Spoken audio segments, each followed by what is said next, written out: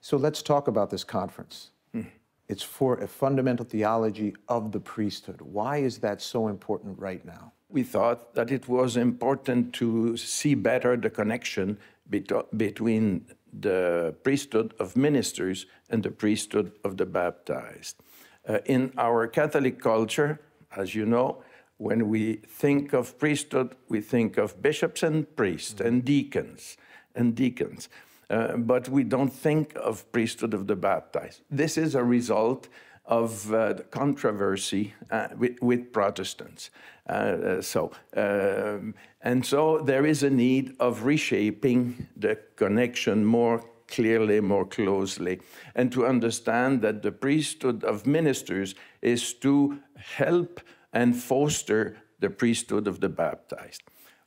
When we speak of priesthood of the baptized, we think of uh, baptism, who is making us uh, believers, members of the body of Christ. And so we participate in the mission of Christ because we are members of his body, and, and which each one with a vocation.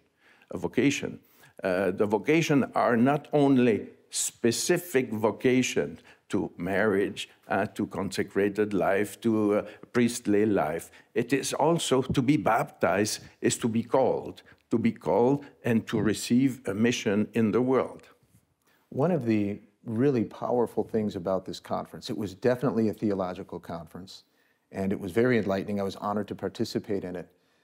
It also had a practical side to it. In fact, the Holy Father's intervention at the very beginning, the four proximities, he has a way of taking our baptism and making it take on a concrete reality. I wonder if you could comment on the relationship between theology and practical living of these truths. Yes, yes. The Holy Father uh, set the stage from the beginning, uh, very, very concretely, positively, uh, sharing his own experience of, of the priesthood. And uh, I think it, it was uh, enlightening for, for all of us, uh, and, but also for the lay people. And when we think of uh, the uh, priesthood, we think of mediation. So, what would be the mediation of uh, lay people in the world? Uh, so, in simple terms, it is um, to give, convey to the world a sense of faith, to, of believing, uh, of uh, being related to the transcendent, you know, a sense of hope. This transcendent is just not, not just there.